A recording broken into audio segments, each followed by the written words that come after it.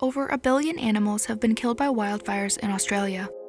Quote, Australia is the canary in the coal mine, a University of Sydney professor said.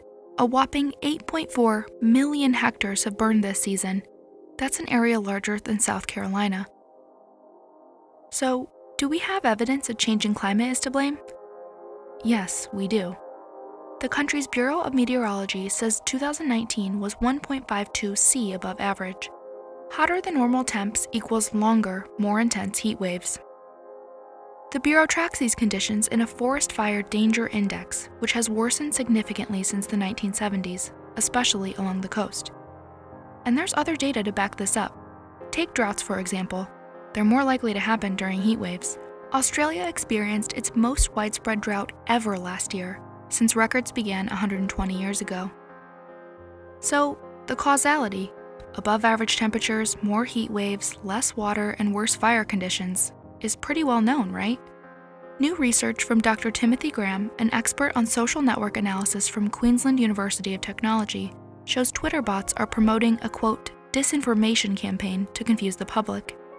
We cover academic studies like this. Subscribe to join us. Graham found bot profiles on Twitter are promoting the hashtag arson emergency, claiming climate change wasn't responsible for the fires, but rather, inaccurately, that environmental advocates were starting the fires themselves for political reasons. After scraping tweets from the first week of January, he analyzed them using a tool that assigns a probability of being a bot. Here's how normal distribution looks for the hashtag BushfireAustralia. A large number of humans scored 0 on the scale, and some bots scored 1. Here's the hashtag AustraliaFire.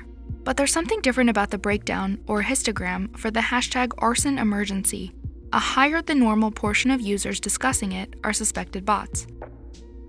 Graham told journalists he's confident it is a coordinated disinformation campaign, though he can't say for sure how sophisticated it is and who is behind it.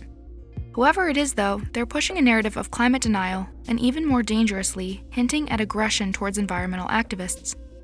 Such as this tweet, which claims New South Wales had arrested 200 people for deliberately starting the bushfires with the intent of blaming it on climate change. That number is false. The actual figure is 24, and a fraction of those actually started fires. Bots have also circulated rumors that local police blame arsonists. Victoria Police countered this, telling The Guardian they had no evidence any of their bushfires were caused by arson. The disinformation campaign was also seen pushing ideas that lightning was responsible, not a changing climate. This is misleading. Fire service officials have said some large fires were caused by lightning, but here's why that matters. A warmer Australia with record setting drought creates more tinder subject to flammability from lightning strikes. The two are connected, frankly, in an obvious way. And that's it. That's all we have for today's episode. It shouldn't require channels like ours to correct misinformation, especially when it risks the lives of people and animals living in harm's way. Search engines, aggregators, and social media platforms must do better at ranking informative, unbiased content. Some things are only designed to mislead.